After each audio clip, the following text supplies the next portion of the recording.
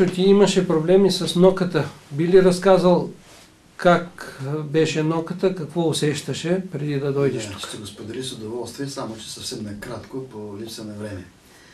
От много време ноката на левия ми палец, на Да. левия ми крак, на левия палец, на левия палец на левия Да. крак, от средата наляво, под прав ъгъл, влизаше в пръста ми. Под прав ъгъл. Ноката. Ноката. Стигна се до кръв. Не можех да се реже ноката въобще. Тук не е много от идванията, че понеже нали, Да. скоро идвам тук. А, гледах една касета, едно момиченце малко, което има проблем с косите, с ногтите и аз тогава спотих за ногата и ти ми каза, ще го оправим. В интерес на истината това е първият път, когато не съм ти вярвал. Първият път.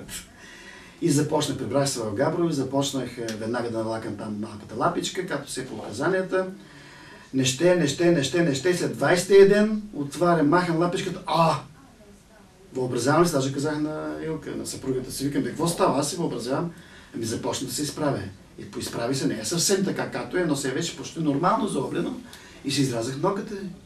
А, работя с един човек, който на година и половина, на две максимум, ходи с клещите, О. дърпат ноката, махат го, болки, с половин кило течен пеницилин Да.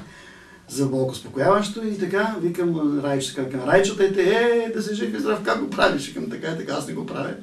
Прави го Коли Алексеев от а, Плевен. Много съм доволен. Не вярвах, че тази лапичка, тези билчици ще изправят ноката. Изправиха го. Който има такъв проблем, да идва, да взема билчицата и после си играе спокойно. Аз не може да се движа. Не може да се движа, па не дай се Боже, ако някъде е ритна нещо отпред, умирах от болки. Много ти благодаря. Няма за какво, аз ти благодаря.